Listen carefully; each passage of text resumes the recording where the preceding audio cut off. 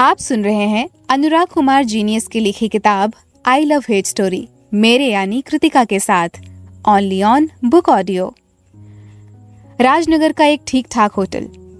कई घंटों के सफ़र के बाद अक्षय और दीक्षा कानपुर से राजनगर पहुँचे थे और इसी साधारण होटल में ठहरे थे। उसका कारण भी था, एक तो उनके पास पैसे कम थे, महँगे होटलों में ठहरने में खतरा था। राजनगर के लगभग सभी महँगे होटलों में दीक्षा जा चुकी थी कोई जान पहचान वाला निकल जाता तो बहुत बड़ा खतरा हो सकता था। दोनों कमरे में पलंग पर सुस्ता रहे थे। एक बात मुझे चक्कर में डाले हुए है। दीक्षा गंभीरता से सोचते हुए बोली, क्या? यही कि ये जानकी मोहन हमें ढूंढा कैसे? हिल स्टेशन पर भी पहुँच गया और कानपुर में भी। ढूंढा है तो ज़ाहिर ही है। किसी प्रकार तो ढूंढा ही होगा। उनके स्रोत बड़े तगड़े होते हैं। ये तो अच्छा हुआ कि हमें दोनों बार वक्त रहते पता चल गया उनके बारे में। हाँ तभी तो हम सेफ़ हैं। वो कहते हैं ना प्यार जब सच्चा होता है तो सारी कायनात सच्चे प्यार करने वालों को मिला देती है। तो मुझे भी कुछ ऐसा ही लगता है। अच्छा अब मैं अपने परिचित वकील साहब से मिलूँगा बात करूँगा और हम दोनों जल्दी से शादी कर लेंगे। उसके बाद कोई भी प्रॉब्लम नहीं आएगी। सच्ची कोई प्रॉब्लम नहीं आएगी? हम्म, कोई भी लफड़ा नहीं होगा। अक्षय मुस्कुराया और नहाने के लिए बाथरूम की तरफ़ बढ़ा। दीक्षा पहले ही नहा चुकी थी। तुम नहा लो मैं खाने का ऑर्डर कर देती हूँ। दीक्षा पीछे से बोली हाँ हाँ ठीक है। अक्षय बाथरूम में घुस गया, दीक्षा ने टेबल पर रखा फ़ोन उठाया और रिसेप्शन का नंबर घुमाया। पर पता नहीं क्यों दो तीन बार फ़ोन लगाने पर भी फ़ोन नहीं लगा। तब उठी और दरवाज़ा खोलकर बाहर गैलरी में गई। सीधी चलती हुई रिसेप्शन काउंटर पर पहुँची और खाने का ऑर्डर दिया तथा फ़ोन खराब होने की जानकारी भी दी। हाय दीक्षा। पीछे किसी ने पुकारा। दीक्षा चौंक कर पलटी। यह सोचकर घबरा गई थी कि यहाँ उसे जानने वाला तो कोई नहीं था, फिर कौन था वो? उसके सामने एक लड़की खड़ी थी। दीक्षा के चेहरे के भाव बता रहे थे कि वह उस लड़की को बिल्कुल भी नहीं जानती थी। तो मुझे नहीं जानती, पर मैं तुम्हें अच्छी तरीके से जानती हूँ। वे दीक्षा के चेहरे के भाव को ताड़ गई थी और मुस्कुरा भी रही थी। तुम कौन हो? मैं तुम्हें नहीं जानती। दीक्षा बिना चाहते हुए बोली, मैं सुमाया हूँ। तुम्हारी फ्रेंड जूही की फ्रेंड हूँ। तीन चार साल पहले हम दोनों साथ में पढ़ते थे, फिर कॉलेज आने के बाद अलग अलग हो गए। मैं पढ़ने के लिए दिल्ली चली गई थी। जूही के घर दो तीन बार मैं उससे मिलने भी गई हूँ। वहाँ पर उसके कॉलेज की फ़ोटोज़ भी देखी, जहाँ पर तुम भी थी, लड़कियों के साथ। और मेरे पूछने पर जूही ने तुम्हारे बारे में बताया कि तुम उसकी बहुत अच्छी दोस्त हो। ओह हाँ। और अभी कुछ देर पहले मैंने तुमको अक्षय के साथ देखा। तुम अक्षय को कैसे जानती हो? दीक्षा ने चौंक कर पूछा। स्कूल टाइम से वो भी मेरे साथ ही पढ़ता था। तमाया ने बताया और फिर क्षणिक देर मौन रहने के बाद वह पुनः बोली वैसे ऐतराज ना हो तो एक कॉफ़ी हो जाए। एक्चुअली हाँ, मैं भी अपने दोस्त का ही वेट कर रही हूँ। तब तक शायद वो भी आ जाएगा। दीक्षा ने इनकार नहीं किया। दीक्षा कमरे में पहुँची तो अक्षय को फ़ोन पर बात करते हुए देखा। तभी अक्षय ने क्रेंडिल जोंगे पर रखा। अक्षय अभी अभी बाथरूम से निकला और कपड़े बदला हुआ था। फ़ोन सही हो गया क्या? दीक्षा ने पूछा। हाँ क्यों? खराब था क्या ये? हाँ तभी तो मुझे खाने के लिए नीचे ऑर्डर देने जाना पड़ा। वही मैंने फ़ोन खराबी की शिकायत भी की थी। शायद इतनी जल्दी तभी ठीक हो गया।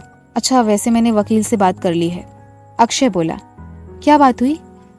उन्होंने विस्तार से चर्चा के लिए घर पर बुलाया है। ओह तभी वेटर खाना लेकर कमरे में आया। खाना टेबल पर रखकर वह वापस चला गया। फिर दोनों ने साथ में खाना खाया और अक्षय फिर वकील के पास जाने लगा। अक्षय, संभल कर जाना।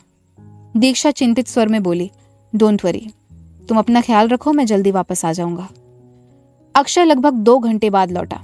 शाम होने वाली थी। वकील ने क्या कहा? दीक्षा ने व्याकुल स्वर में पूछा, उन्होंने कहा है कि काम हो जाएगा। कोई भी विघ्न बाधा नहीं आएगी। सच? हाँ। दरवाजे पर दस्तक हुई।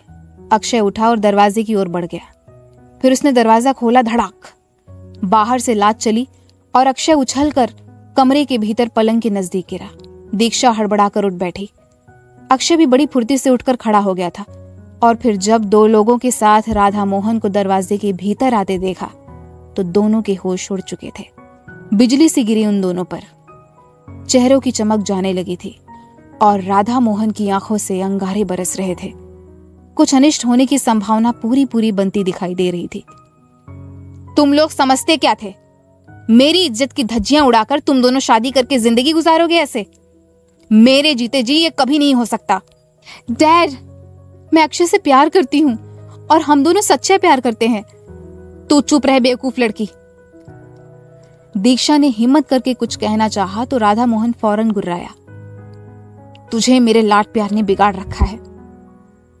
तू इस चालबाज के चक्कर में फंसकर मेरी बदनामी करने पर तुली हुई है। नहीं, डैड, अक्षय वैसा बिल्कुल नहीं है जैसा आप सोच रहे हो। तू मूर्ख है, तेरी आँखों पर पट्टी पड़ी हुई है। क्या सही है, क्या गलत तुझे नहीं दिखाई दे रहा है। ये शातिर लड़का तेरे ज़रिए मेरे करोड़ों की जायदाद हथियाने पर लगा हुआ है। पर मैं इस कमीने के नापाक मंसूबे कभी पूरे नहीं होने दूँगा। आप गलत सोच रहे हो। अक्षय ने तुरंत विरोध किया। मैं बिल्कुल सही सोच रहा हूँ, दुष्ट। राधा मोहन ने दांत पीसते हुए बोला और जेब से गुस्से में रिवॉल्वर निकालकर अक्षय पर तान दी। और आज तुझे खत्म करके तेरे गंदे मंसूबों को भी खत्म कर दूँगा। अक्षय का चेहरा सफ़ेद होता जा रहा था। तभी दीक्षा अक्षय के आगे खड़ी हो गई और दृढ़ता से बोली, आप हमारे प्यार को गलत समझ रहे हैं। अगर आप सजा देना ही चाहते हैं तो पहले मुझे सजा दीजिए। क्योंकि प्यार की शुरुआत मैंने ही की थी। तू हट जा नादान लड़की। राधा मोहन रिवॉल्वर ताने गुर्राया। नहीं, हट जा। नहीं। राधा मोहन ने गुस्से में फायर झोंक दिया। गोली दीक्षा के सीने में समा गई। खून के छींटे बिखर गए। दीक्षा बिना आवाज़ के कटे पेड़ की तरह फर्श पर ढेर हो गई। ये ये आपने क्या कर दिया? अक्षय खून से सनी दीक्षा के जिस्म को क्षण भर अपलग देखता रहा। फिर चीखा। राधा मोहन खुद भौचक हो उठा। उसे काटो तो खून भी नहीं बहे। तभी दरवाजे को ठेल कर कोई अंदर आया। खाकी वर्दी वाला था, जिसकी वर्दी पर चस्पा नेम स्लीपर लिखा था, अनोखे लाल। उसने जब अंदर का नज़ारा देखा तो बोला, ये क्या किया? और बिना किसी का जवाब सुनकर दीक्षा की ओर लपका। दीक्षा, जो खून से सनी हुई फर्श पर पड़ी थी, उसने कलाई पकड़ी और पास रिवॉल्वर लिए राधा मोहन को देखा और बोला, मार डाला तुमने इसे? राधा मोहन रिवॉल्वर फेंक कर दीक्षा की ओर लपका और उसको अपनी बाहों में भरना चाहा। अनोखे लाल ने उसे तुरंत रोक दिया। लाश से दूर रहो। कोई भी इसे हाथ नहीं लगाएगा और यहाँ पर जितने लोग हैं, कोई भी भागने की कोशिश नहीं करेगा। माहौल बड़ा गंभीर हो गया था। हर किसी के चेहरे पर बदहवास, बेचारगी, दहशत सी फैली हुई थी। मैं inspector Anokhe Lal from crime branch. मुझे इन्फॉर्मेशन मिली थी कि इस होटल में एक वांटेड अपराधी की किसी के साथ कोई डील होने वाली है, जो कि गैर कानूनी है, इसीलिए मैं यहाँ आया था। लॉबी से गुजर रहा था तो कमरे में गोली चलने की आवाज़ सुनी। अनोखे लाल ने कहा और जेब से फ़ोन निकालकर किसी से कुछ बात की। फिर फ़ोन जेब में रखकर बोला, वैसे तुम लोगों का क्या मैटर था? क्यों मार डाला इस लड़की को? कोई कुछ नहीं बोला। अनोखे लाल ने फर्श पर पड़ी रिवॉल्वर को जेब से रुमाल निकालकर उससे पकड़ा। फिर अनोखे लाल ने राधा मोहन को घूरा। मेरा नाम राधा मोहन है। मैं एक बिजनेसमैन हूँ। राधा मोहन कहने लगा, दीक्षा मेरी एक लौती संतान थी। वह इस लड़के, उसने अक्षय की तरफ़ इशारा करते हुए कहा, इससे प्यार करती थी। दोनों भागकर शादी करना चाहते थे। ओ तो ये मैटर था। अनोखे लाल बीच में ही लपका। तब तो ये हत्या एक ऑनर किलिंग है। अमीर बाप को अपनी बेटी के प्यार से ज़्यादा इज़्ज़त की परवाह थी। इसीलिए एक बाप ने अपनी बेटी को मौत के घाट उतार दिया। यही ना? आप बिल्कुल गलत सोच रहे हैं, इंस्पेक्टर साहब। अक्षय टोका। अनोखे लाल अक्षय की तरफ़ पलटा। उसे घूरा। नाम क्या है तुम्हारा? उसने पूछा। अक्षय। हम्म तो सच क्या है? अक्षय ने बदहवास से खड़े राधा मोहन की तरफ़ देखा।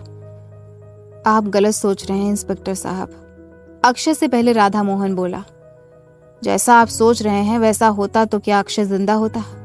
क्या उसका भी वही हश्र नहीं हुआ होता जो दीक्षा का हुआ? अनोखे लाल हड़बड़ाया, फिर उसकी आँखें सोचनी मुद्रा में सिकुड़ती चली गई। हम्म तो सच्चाई क्या है? फिर उसने पूछा, आखिर ऐसी क्या वजह थी कि आपको अपनी बेटी पर गोली चलानी पड़ी? मैं उसे सरप्राइज़ करना चाहता था। क्या? बेटी को गोली मारकर आप उसे सरप्राइज़ करना चाहते थे। सरप्राइज़ करने का यह तरीका तो मैंने पहली बार सुना है। बेटी को ऐसा सरप्राइज़ कि उसकी जान ही ले लो। यह सच है, इंस्पेक्टर साहब, कि मैं सच में अपनी बेटी को सरप्राइज़ करना चाहता था। गोली मारकर। कौन मानेगा इस बात को? राधा मोहन के पास कोई जवाब नहीं था। सच तो ये है कि ऑनर किलिंग से बचने के लिए आप झूठ मूठ की बातें बना रहे हैं। ऑनर किलिंग होती तो क्या अक्षय ज़िंदा होता? मैं उसे गोली ना मारता? मैं तो ऐन वक्त पर आ गया था। फिर भी, जो अपनी बेटी को मार सकता है, वह उसके प्रेमी को क्यों छोड़ेगा? जो सजा एक को मारने की है, वही दो को मारने की भी तो है। मेरे ऐन वक्त पर आने की वजह से आप ऐसा नहीं कर सके। एक गोली चलाने में कितना वक्त लगता है? अनोखे लाल ने पल भर सोचा, फिर बोला, ठीक है, मैं आपकी बात मान लेता हूँ। तो आप बताइए कि आपने अपनी बेटी को गोली क्यों मारी? ये मत कहिएगा कि आप गोली मारकर उसे सरप्राइज़ देना चाहते थे। आप माने या ना माने, लेकिन सच तो यही है। अनोखे लाल ने नाराज़गी से राधा मोहन की तरफ़ देखा। फिर पता नहीं क्या सोचकर सामान्य लहजे में बोला, देखिए, यह बात बिल्कुल भी नहीं पच रही है। इससे पहले मुझे अपच हो जाए, पूरा मामला समझाइए, आखिर अपनी बेटी को आपने गोली क्यों मारी? सरप्राइज़ करना चाहते थे इसलिए, लेकिन क्यों? राधा मोहन ने कुछ पल सोचा, फिर बताना शुरू किया। इंस्पेक्टर साहब, दीक्षा मेरी इकलौती संतान थी। मेरी करोड़ों की प्रॉपर्टी, जायदाद की अकेली वारिस। पर मेरे लाड प्यार ने इसे हद से ज़्यादा घमंडी, जिद्दी, गुस्सैल, बदतमीज बना दिया था। उसमें सामाजिकता का कोई ज्ञान ही नहीं था। नैतिकता से दूर दूर तक संबंध ही नहीं था। जबकि मैं चाहता था कि वह एक दिन सामाजिक लड़की बने, नैतिकता सीखे। किससे कैसे व्यवहार करना चाहिए, उसे पता चले। और इसके लिए मेरे बस में जितना था, मैं बस उतना ही कर पाया। पर वह जिद्दी लड़की मेरी एक भी न सुनती थी। मेरे सारे उपाय विफल हो गए। उसके साथ ज़्यादा कठोर भी होना मेरे बस में नहीं था, और ना ही मैं करना चाहता था। वह जानती थी यह बात कि मैं उसे कितना चाहता हूँ। इसलिए उसे किसी भी बात की परवाह नहीं थी। वह दिनों दिन बिगड़ती जा रही थी। मैं उसे सुधारने के लिए हर क्षण परेशान रहता था। ऐसे में एक दिन वह अक्षय को घर लेकर आई। उसे अपना फ्रेंड बताया। पर मेरी गहरी आँखों ने देखते ही अनुमान लगा लिया था कि दोनों सिर्फ़ फ्रेंड नहीं है। अक्षय से बात करने के बाद यह क्लियर हो गया था कि दोनों एक दूसरे से प्यार करते हैं। अक्षय, लड़का तो मुझे अच्छा लगा। लगा कि जीवन में पहली बार दीक्षा ने ढंग का काम किया है, जो खुद के लिए एक काबिल वर चुन सके। देखिए, मैं पुराना ज़रूर हूँ, पर मुझे कई पुरानी बातें पसंद नहीं। जात पात छुआछूत हैसियत, औकात, यह सब मेरे लिए बेमतलब की बातें हैं। तब तो आपको बेटी के प्यार से कोई ऐतराज तो होगा नहीं। बीच में अनोखे लाल ने डोका। हाँ मुझे इनके प्यार से कोई ऐतराज नहीं। तो फिर बात यहाँ तक कैसे पहुँची? पर मैं अपनी जिद्दी बेटी को सुधारना चाहता था। अनोखे लाल की बात को नजरअंदाज करते हुए राधा मोहन बोलता चला गया। मैंने अक्षय से इस बारे में बात की थी। अक्षय ने दो तीन दिन का टाइम मांगा और फिर उसने मुझे एक रास्ता सुझाया। क्या था वह रास्ता? इसने कहा था कि हालात ऐसे पैदा कीजिए कि दीक्षा उसके साथ घर से भागने को तैयार हो जाए। यह कैसा रास्ता था? दीक्षा कैसे सुधर सकती थी? अक्षय का कहना था कि जब कुछ महीने बाहर बुरे हालात में रहेगी, कई अच्छे बुरे अनुभवों से गुजरेगी तो सुधर सकती है। हालात सबसे बेहतर शिक्षक होते हैं, जो इंसान को इंसान और शैतान को शैतान बना देते हैं। सिद्धार्थ अपने महल से निकले और समाज के कई लोगों को देखा। कई घटनाओं को देखा तो उनके विचार बदले और उन्हें बदले विचारों ने आगे चलकर उन्हें भगवान गौतम बुद्ध बना दिया। क्षण भर के लिए रुका राधा मोहन पुनः बोला, अक्षय की बातें सुनकर मुझे आशा की किरण नज़र आई। मुझे अक्षय का सुझाव अत्यंत प्रिय लगा। वैसे भी मेरी समझ से तो दीक्षा को नहीं सुधारा जा सकता था। क्योंकि वो ऐसी लड़की थी। पर मैं चाहता था कि वह सुधरे। अतः फिर एक प्लान बना। कैसा प्लान कि दीक्षा कैसे भागेगी? भागने के बाद क्या क्या होगा वगैरह वगैरह, जैसा कि इन हालातों में होता है। प्लान के पहले चरण में मैंने एक रूढ़ीवादी पुराने ख्यालातों वाले भाप की भूमिका अदा की। जैसे अपनी बेटी का किसी गरीब के साथ प्यार पसंद नहीं। मकसद था वह भड़के भागने के लिए भूमिका बनाई जा रही थी। यानी वह घर से भागने के लिए तैयार हो जाए। आपसे तंग आकर। हाँ वाह। जीवन में पहली बार सुन रहा हूँ कि एक बेटी को सुधारने के लिए उसका बाप उसे उसके प्रेमी के साथ भगा रहा है। खैर, आगे बताइए। पहले चरण में हमें जल्दी ही सफलता मिली। दीक्षा अक्षय के साथ भागकर शादी करने को तैयार हो गई। अक्षय के पास पहुँच गई। अक्षय और मेरा दोनों का एक ही प्लान था। अक्षय भी दीक्षा के साथ घर से भाग गया। दूसरे चरण में एरिया जहाँ यह होते, वहाँ पहुंचकर डराने का काम करना था और एक जगह न ठहरने देने का काम, यानी जगह बदलते रहे, मुसीबतों का सामना करते रहे। इस प्लान के मुताबिक ऐसे हालात क्रिएट किए गए थे ताकि दीक्षा घर से रुपए पैसे लेके न भागे। इन्हें डराने तथा जगह बदलते रहने को मजबूर करने के लिए मैंने कुछ लोगों को भेजा था। एक मिनट। अनोखे लाल ने टोका। आपको अक्षय के ऊपर इतना विश्वास था कि आपने अपनी बेटी को उसके हाथ में छोड़ दिया भागने के लिए? हाँ बदनामी हो जाएगी, इससे भी नहीं डरे। पहली बात, प्लान के मुताबिक ऐसा उजागर नहीं होने देना था कि दीक्षा घर से भाग गई है। बल्कि हर कोई पूछता था तो यही कहा जाता था कि वह दो महीने के लिए अब किसी रिश्तेदार के यहाँ गई है। हम्म पर पुलिस में रिपोर्ट तो लिखा ही दी होगी। जब बेटी रिश्तेदार के यहाँ गई है तो पुलिस में रिपोर्ट क्यों लिखा था अनोखे लाल बुरी तरह झेप गया। ओ, ठीक। वैसे क्या आपको पता था कि दो महीने में दीक्षा सुधर जाएगी? ना सुधरती तो समझ लेता कि मेरी किस्मत में यही लिखा है। इसका कारण था कि मेरे पास दो महीने का ही समय था। इसीलिए मैंने रिस्क लिया था। मैं कुछ समझा नहीं। दीक्षा के बालिग होने में सिर्फ़ दो महीने बचे थे। दीक्षा यही सोचकर घर से भागी थी कि वो बाहर जाकर अक्षय से जल्द ही शादी कर ले। पर जैसा कि प्लान था कि अक्षय के ज़रिए दीक्षा के मन में यह बात बिठाई गई कि मंदिर में की गई शादी कोई मायने नहीं रखते। कोर्ट में शादी बालिग होने पर ही होती है। दीक्षा एक पढ़ी लिखी लड़की है। क्या उसे यह बात नहीं पता होगा कि बालिग होने पर ही शादी होती है? बिल्कुल पता होगा, क्यों नहीं पता होगा? पर वो इतनी समझदार नहीं थी, जितनी आप सोच रहे हैं।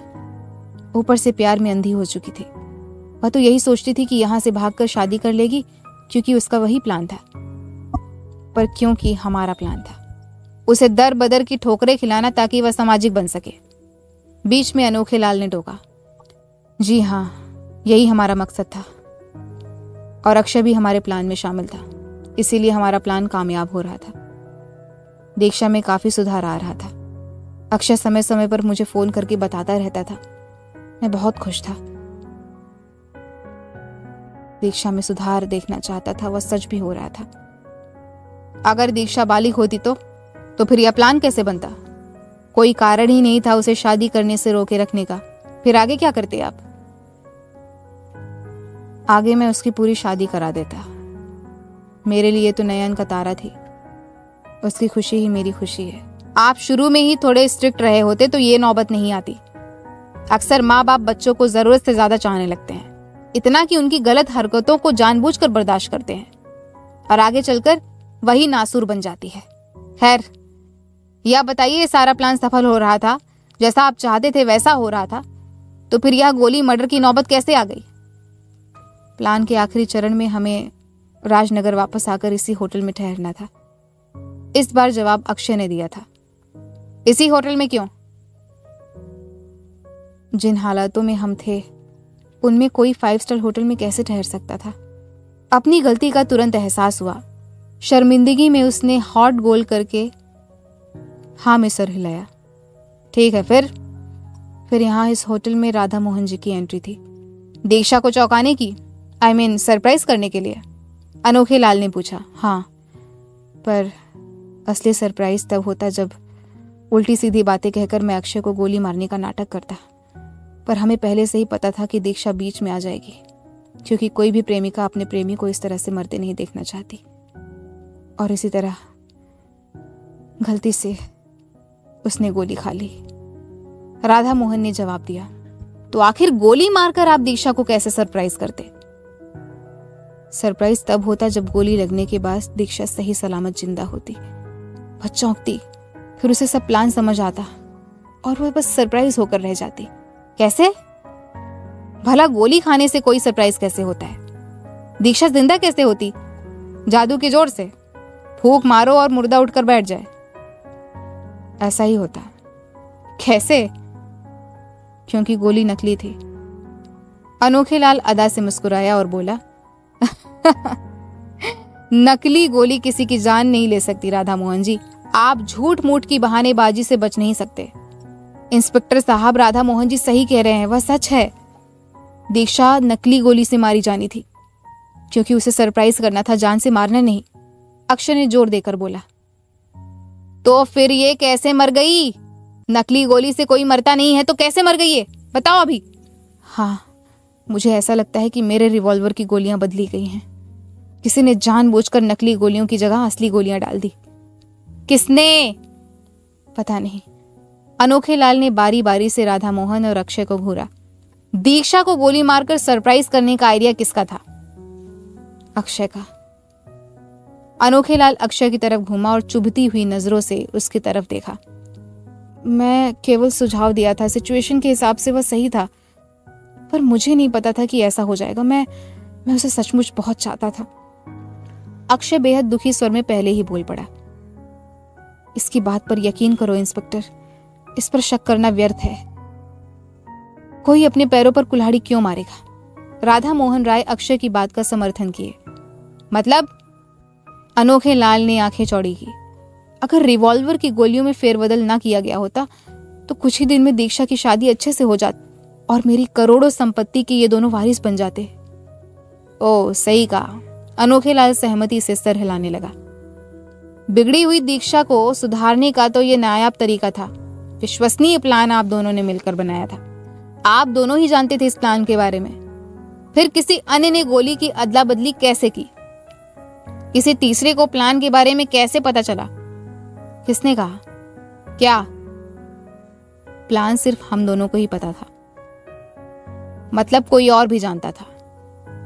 हाँ अनोखे लाल को बताया गया। हम्म अनोखे लाल ने गंभीरता से हुंकार भरी, फिर अक्षय की तरफ़ पलटा। तुम्हें भी किसी पे शक है? कोई ऐसा जिससे तुम्हारे और दीक्षा के रिश्ते से जलन हो? अक्षय हिचकिचाया, ऐसे हैं तो कुछ लोग, लेकिन उन्हें प्लान के बारे में नहीं पता है। वो मैं देख लूँगा। नाम बताओ। अक्षय ने नाम बताए तभी वहाँ कुछ पुलिस वाले और आ गए। शायद अनोखे लाल ने फ़ोन कर कर उन्हें बुलाया था। पुलिस वालों ने वहाँ पर आवश्यक कार्रवाई शुरू कर दी। राधा मोहन जी, जब तक असली मुजरिम हमारी पकड़ में नहीं आता, तब तक आपको हमारी कस्टडी में रहना होगा। क्योंकि गोलियाँ किसी ने भी बदली हो, प्रत्यक्ष रूप से गोली तो आपके ही हाथों से चली है। राधा मोहन का चेहरा बिगड़ने लगा, वह जज्बाती होने लगा।